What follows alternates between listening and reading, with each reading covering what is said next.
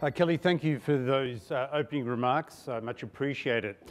So, uh, I am here in my capacity as the chair of the COAG working group looking at the development of national hydrogen strategy, but I'm going to take the opportunity to give you a, a full overview of what hydrogen means, where the opportunities lie. Okay, um, there's the dictionary definition that hydrogen is an opportunity for Australia. You all get that. I want you to use your imagination and imagine you're piloting a spacecraft coming back from a long interstellar journey to Earth 100 years from now, and you look out and you see a planet that 100 years from now is still magnificent in the way that we are accustomed to seeing Earth. It's not that easy to have the belief, to have the faith, because there are many threats to that vision. And they're serious threats. Fundamentally, greenhouse gas emissions, which I think most of us would agree is a global and massive threat um, that needs to be considered. So if you ask yourself, where do you start? Where are the richest pickings for dealing with this threat? You've got to look at where the emissions are coming from. Now, global, that figure's from 2013 because I can't get exactly this for more recent date, but nothing's changed in a substantial fashion. The vast bulk of the greenhouse gas emissions come from the energy sector more than 70% of all the greenhouse gas emissions just come from the energy that we need. There's nothing more fundamentally important for a society, for civilization, than energy, and that's reflected in the dominant contribution it makes, unfortunately, to greenhouse gas emissions. So, energy is where the rich pickings are. It provides the biggest bang for the buck. So, we need to pull out the toolkit and do something to fix the problem. But it turns out that our toolkit is relatively restricted. There are a lot of tools in there, but somebody's saying, no, you can't use them all. And what restricts them are the practical realities and community values that say no to certain tools in our toolkit. If you look at the zero emissions toolkit, there's quite a few things in there. But realistically, can we use them all? So I don't have oil, coal, and gas. I'm looking at the zero emissions solutions. Can we use them?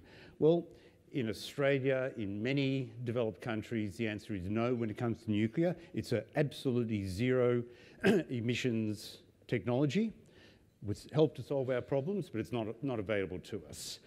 When was the last time we built a large-scale hydroelectric dam in Australia? It was more than 50 years ago.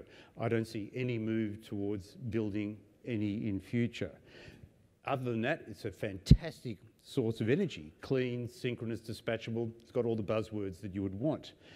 Biofuels, they tend to rule themselves out. They're not as good as they claim in terms of being zero emissions. Plus, we just don't have nearly enough land to use them in a substantial fashion. We might use them in niches, but not in a substantial fashion.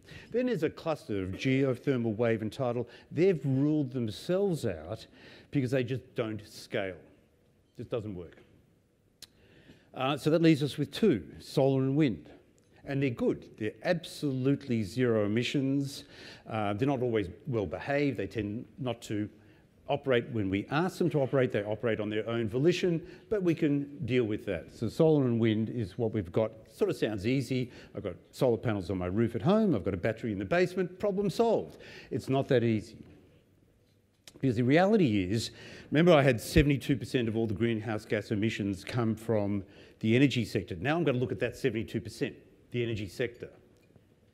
81% today, through to the end of 2018, 81% of all the global energy still comes from coal, oil, and gas. 30 years ago, it was 80%, and it's still 80%. The whole energy sector has doubled so that the non-coal oil and gas has increased dramatically, but the split hasn't really changed.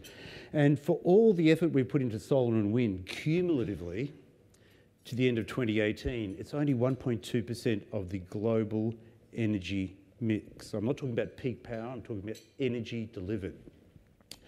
So if you do the maths, it's not that hard to replace the 81% share of oil, coal and gas with solar and wind, you need about 70 times more solar and wind than we have cumulatively installed through to the end of 2018. That is a huge challenge. That doesn't mean it's impossible, but it is a huge challenge. We need everything going for us. We need strategic commitments, storage and more storage. We need uh, inter interstate transmission lines. We need intelligent digitalisation and artificial intelligence and all those things. We need lots of things going for us. And even then, the electricity um, that we get doesn't necessarily meet our needs. Solar and wind are plentiful, so we can get this kind of scale up. But sometimes you need molecules, you need a high density transportable fuel. Of course, you can store electricity in batteries, but it's not always going to work. I like to give the example of imagining a ship in the future that's going to carry 100,000 tonnes of iron ore from Port Hedland to Shanghai operating on batteries. It's maybe 100 years from now or 1,000 years from now, but I can't see it in the next 20, 30, 40 or 50 years. You need a high density transportable fuel for things like that. So what could that be? Well, what do you know? It could be hydrogen. Hydrogen, a wonderful, clean, um, combustible gas, otherwise called a fuel that has no emissions. Now, what can you use it for? You can use it for lots of things. So, where I've got the little cartoon of a car, you can think transportation, that's what it's uh, representing, um, but mostly long distance heavy haul. So it's interstate trains, the big trucks. Anywhere where you would use diesel is where you're more likely to use hydrogen. Where you would use petrol, you're more likely to use batteries as we go to a zero emissions transportation future. Um, you can use it for the built environment for heating our buildings, not just little houses, but big factories, big office blocks. You can use it for cooking and hot water. Uh, you can use it for transportation in the way that I just described, carrying something else, or you can have special carrier ships that will take the hydrogen from Australia to another country. And if you make that hydrogen in a way that I'll describe soon from a primary energy source such as solar, then effectively we can ship sunshine. And there are no there are not many easy ways of shipping sunshine, and we have a lot of it. It's a resource that Australia can use.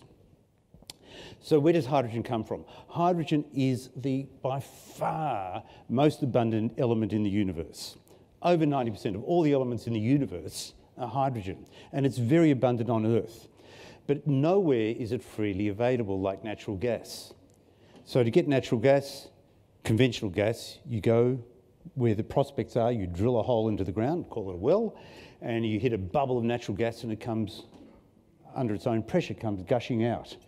There is nowhere on Earth where you can find hydrogen as hydrogen. It's always bound up. It's bound up in you and me, in other words, in organic material.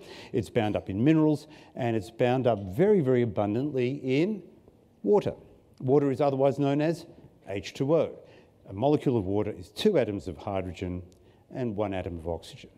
So you can take a gadget that um, is called an electrolyzer, or you can take fossil fuels, I'll explain in a moment, and either of those can be used to make hydrogen. So an electrolyzer is a gadget that passes electricity through water and splits the hydrogen and oxygen into the two gases. You capture the hydrogen and release the oxygen.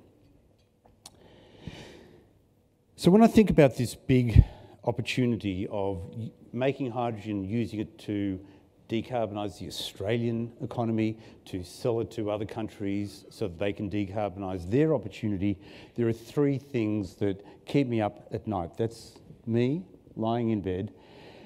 The three things are scale, demand, and diversity. Scale, demand, and diversity. I've already been talking about scale, haven't I? So let's look at that a bit more. And I do want to make the point that just because something's hard, that doesn't mean we should avoid it. In fact, to the contrary, if it's hard and it's big, that's where the industrial economic opportunity lies.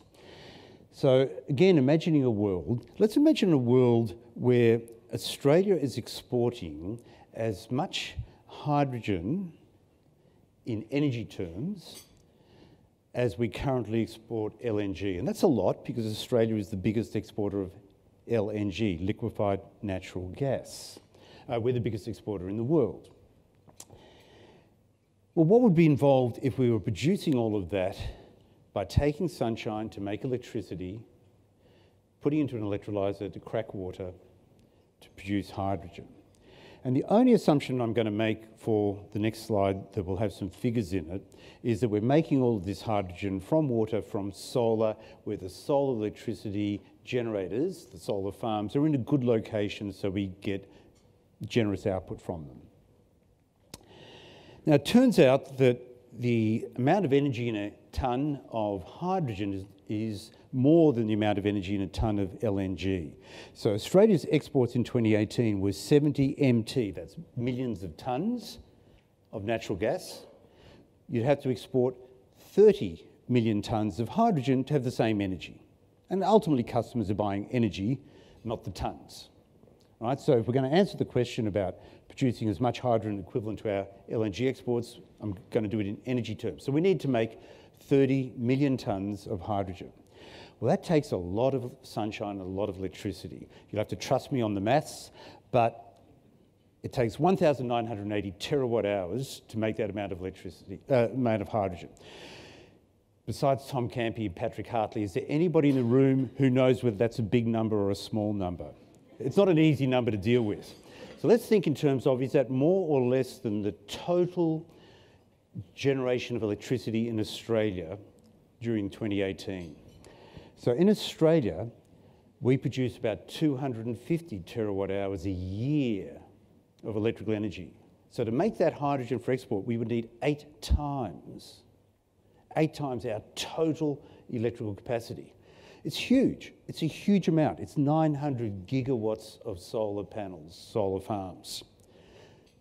But if we do it over 20 years and we become increasingly efficient and the costs are coming down in the way they have been, it is achievable, but it's a huge challenge. It's also a lot of land area. It's 18,000 square kilometres. And for those of you who don't think in square kilometres, it's two thirds or three quarters of the largest cattle station in Australia, the Anna Creek cattle station. So even though it's a large amount of land, it's not inconceivably large. And we've done this kind of thing before. If you look at the graph of our exports of LNG, as I said to you, as of 2018, we pipped Qatar and we took the crown of being the largest exporter in November last year of LNG. But it's been a long journey. The first decision to proceed was in 1979, and that's when the Western Australian government um, did an underwriting agreement that allowed the oil companies to sign contracts and go out and raise money. The first drop of LNG to be exported was 30 years ago in 1989. And that's into a known market. It took quite a long time, but we're talking about a big industry that knows how to invest and has patience. So I think this is a confidence building graph that says we've done this kind of thing before. So the second thing that keeps me awake at night is demand, the chicken and egg problem. So until there's demand, you can't build up the production. Until you build up the production, you don't get the cost down. Until you get the cost down, you don't build up the demand. You know what I'm talking about. So in order to talk about demand, I'm going to start by talking about supply. So this is how other people see us. So the World Energy Council commissioned a report and they said that Australia is the giant with potential to become a world key player in hydrogen. The World Energy Outlook that came out last year, you can read the quote, Australia could easily produce 100 million tonnes of oil equivalent of hydrogen, 3% of global. We can easily do it. And 3% of global is a massive amount of fuel. Supply side, this is how we see us. If you look around, don't worry about diving into it, but pretty much every state and territory in Australia, with the exception of the ACT, and they understand that, uh, every state and territory in Australia um, has resources of some kind or another, whether it's a fossil fuel resource to be made into hydrogen or solar or wind resources, uh, to be a player in the domestic and the export hydrogen industry. That's a good thing. So, how do you build the demand? There's the chicken and the egg. Well, there are a number of things that we can do, and we will be encouraging through the hydrogen strategy. Government has a role. bilateral agreements. We are a trusted partner for countries like Japan and South Korea and Taiwan and others, and we can build on those because there are other people who will be offering them hydrogen. And yes, price is the key differentiator, but trust in the supplier is important as well. Industrial hubs, I'll speak a little bit more about these, but basically um, the International Energy Agency put out a big report on hydrogen earlier this year, and they see the best way of building demand is to have three or four users, typically around a port, that then justify the production of the hydrogen. So it could be a, um, an export-oriented customer, it could be somebody who's making ammonia from hydrogen, so, because with clean hydrogen you can make clean ammonia, and with clean ammonia you can make clean fertilizer. Europeans would like that. You can also make clean bombs, but we'll ignore that. Um, fleet opportunities.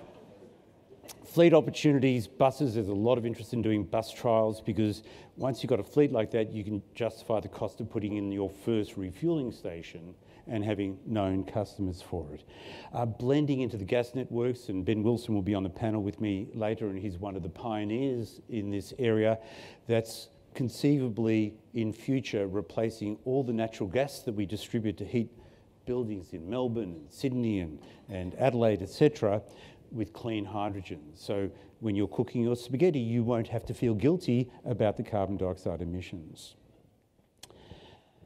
Um, the third thing is the diversity of supply. So I had that list of things in our toolkit. Let me put them up again.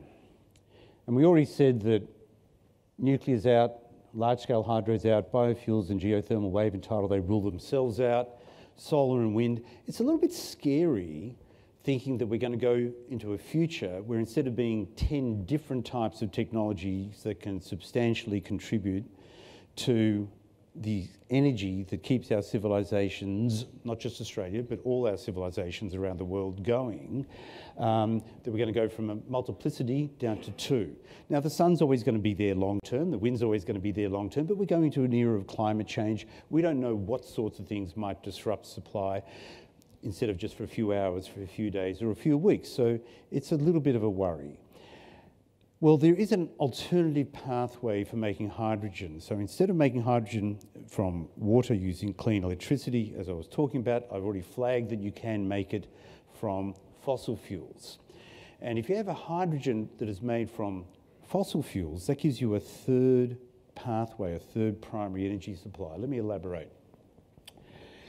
No one will buy hydrogen that's made from a fossil fuel pathway unless it's clean. But if you just make hydrogen from natural gas or from coal, there's a vast amount of carbon dioxide produced per kilogram of hydrogen, and therefore the hydrogen would be unacceptable. The hydrogen itself is clean, but the production process would be unacceptable. So this is the process we're talking about. Starting with coal, but it could be natural gas. You heat it in a special way called gasification in the presence of steam, and that then breaks the water and you get hydrogen, but you get carbon dioxide that you don't want.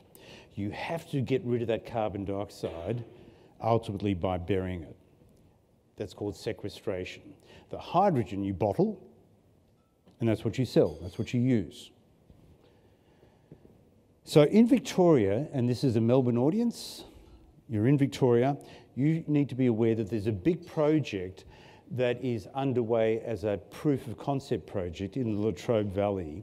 It's a consortium of four Japanese companies, one Australian company, and it's funded by them, plus the Japanese government, plus $50 million each from the Australian and the Victorian governments. And all up, it's a $500 million pilot project.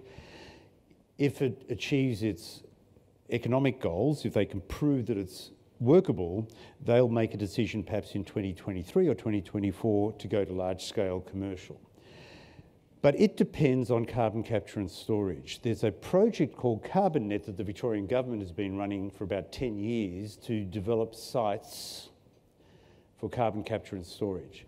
So CarbonNet has been in particular looking at that red dot, which is off the coast in Gippsland, not far away from the Latrobe Valley, And what they've done is they've mapped out um, all the characteristics and they've done it in detail. And it's called the Pelican site, about 20 kilometres off the coast. And that carbon dioxide that came down the bottom of my previous slide is coming in and it's going to be buried. And when it's buried, the nature of the formations that have been mapped out, it will be buried essentially forever, which means that the hydrogen that comes out of the project can be sold on the world market as clean hydrogen.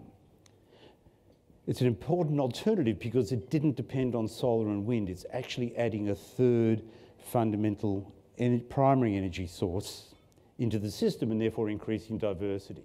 The project is called the Hydrogen Energy Supply Chain, HESC in the Latrobe Valley, and it's intended to prove a couple of things the production and logistics, the hypothesis that this is the cheapest way to produce lots and lots and lots of clean hydrogen. We don't know.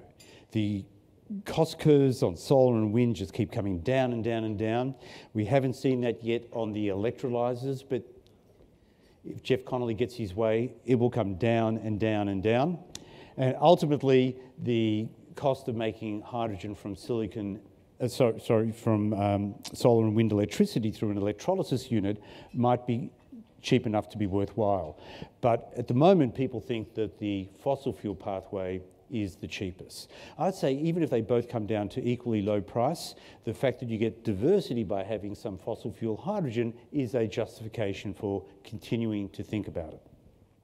Once you've got the hydrogen, you can ship it by chemically converting it to ammonia. Then you can put it on one of thousands of ships that you can just go out and rent and send it to another country as ammonia, where they then strip the hydrogen back off the ammonia. Or you can build a liquid liquid hydrogen carrying ship. And that's an artist's impression, but Kawasaki Heavy Industries is about halfway through building the very first. And its first job will be to take hydrogen from the Latrobe Valley project from a port that is about to be built in Hastings. And the next picture shows about two weeks ago the groundbreaking ceremony for building that port I'm third from the left, but there's a lot of ministers in that picture. It's a really serious commitment from the Victorian government and from the Japanese companies. Now, hydrogen as a story's been around for a long time. You've got to say, Alan, what's different this time? Three things. First of all, you've got countries that are saying, we want to decarbonise, and the only way we can do that is by using hydrogen or importing it. Let me just talk about Japan. I've shown you China, California, Korea, and Japan. But Japan wants to decarbonise, but they have very few resources, including very little solar and very little wind. So currently, they import 94% of all the energy that they use as oil, coal, and gas. So they see that they can replace some of that ultimately all of that oil, coal and gas might take 30, 40, 50 or 60 years but they can replace that with imported hydrogen. So this time we've got customers saying, hey, customer country say, we're over here, sell us hydrogen. The second thing is, if you look at the renewables, the plummeting cost of solar and wind and ultimately electrolysis units gives us confidence today that we didn't have 10 years ago, 20 years ago, or 30 years ago that we can meet a price target. And the third thing is lower utilisation costs. That thing there is a fuel cell. A fuel cell is what goes into every vehicle that might use hydrogen, whether it's a train or a ship or a truck, and converts the hydrogen back into electricity to drive the vehicle. And they've come down in price, they've come down in volume, they've come down in weight in an almost unpredictable way compared to where they were 10, 15, or 20 years ago. So we've got three things going for us. And now you're seeing it in trucks. That's a real truck, a semi trailer running with hydrogen. No one can do that truck can drive from Melbourne to Brisbane without stopping to refuel. You might want to change the driver, but without stopping to refuel, carrying a full load using hydrogen. That's a train made by the French company Alstom. Um, there's several of these running in Germany on um, regularly scheduled passenger lines. That's me in Japan from a existing hydrogen refueling station refueling a Japanese hydrogen car. That's an artist's impression of a ferry that's about to be launched on San Francisco Bay, again running on hydrogen. Now, all of this adds up for opportunities for Australia. We have lots and lots and lots of what we need to develop a hydrogen industry. We've got lots of um, solar, we've got lots of wind, we've got lots of land, we've also got the fossil fuels, natural gas and coal. So we have the choices. But we're not the only ones. There will be international competition. It's a race, and the race has already started. So, on the fossil fuel pathway, Russia has declared that it wants to use its natural gas to make hydrogen. Norway, Qatar, they're all interested in doing it. On the solar approach, you've got all the Middle Eastern countries and Northern African countries, Algeria, Morocco, Saudi Arabia, Qatar, uh, Dubai, you know, Arab Emirates, all of those. And they're close to the European market. We've got the proximity advantage, of course, with the Asian market. Three big challenges I've gone through scale, diversity, and competition. I put it to you that they're all opportunity, opportunity, and opportunity. Okay, so what are we going to do to capture that opportunity? As you're aware, the Council of Australian Governments, COAG, the Energy Council has asked myself, supported by a task force and many others, to um, develop a national strategy for their consideration at the end of this year in December. Uh, the way we've done it, we've broken up the challenges into five major streams. So we've got exports, gas networks, transport. I've mentioned all of those. I haven't mentioned electricity storage and responsive loads, but that's important. You can use hydrogen to store electricity in summer, to use in winter if you need to for heating houses. And also, because those electrolysis units can switch on and switch off very quickly, they're an ideal matching load for variable renewable energy and industrial purposes. A lot of cross-cutting issues, I won't go through them. So where are we at? In March, the whole of the month of March, we had out a discussion paper and we got about 120 really thoughtful submissions. There are almost no amateur or unthinking or critical submissions coming back to us. There's a lot of support for this process. We did a number of roundtables uh, with stakeholders in April and May of this year. And in July of this year, we put out a series of nine big issues papers and received 70, 72 responses. Some of the responses were books, like 25, 50 pages. That's how much effort people are putting into helping us to develop the right strategy, and we are very, very appreciative, and we've gone and worked our way through all of those responses that came back to us. So, where do we stand with the National Hydrogen Strategy? What are we going to produce? It's unlikely to have a lot of hard targets. We can't put a target that we will export 500,000 tonnes of hydrogen by 2030 because it depends on Japan and Korea and them meeting their goals. It'd be very difficult for us today in Australia to say we need a target of 100,000 zero emissions vehicles on the road by 2030. So what we're developing is a framework that will make it really easy for industrial players and for states and territories to develop their industries because we will take away all the barriers by identifying the standards and the regulations and the rules for interstate commerce, the bilateral agreements, the, um, working with the IMO, the International Maritime Organization, to make sure that you can carry liquefied hydrogen on international waters, because today you can't. So our goal is more about getting all the framework conditions right uh, rather than hard targets. And if we get it right, if we get it right, and we and the Australian government and other governments around the world get it right, then I would put it to you that in 100 years from now, we'll have a world that is still magnificent. Thank you.